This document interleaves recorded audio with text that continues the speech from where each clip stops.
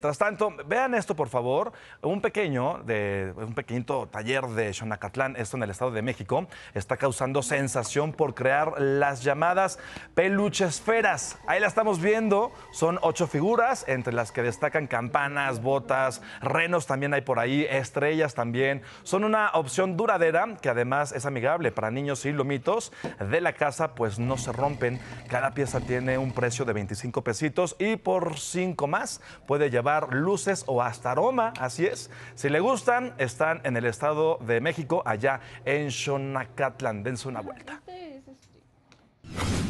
Significa mucho porque para mí es el, el- la entrada de mi familia, ¿no? Así somos un taller chiquito y los siempre, afortunadamente o desgraciadamente, los grandes talleres son los que se llevan ese reconocimiento, ¿no? Y ahorita pues yo me siento bien feliz, ¿por qué? Porque estamos siendo reconocidos.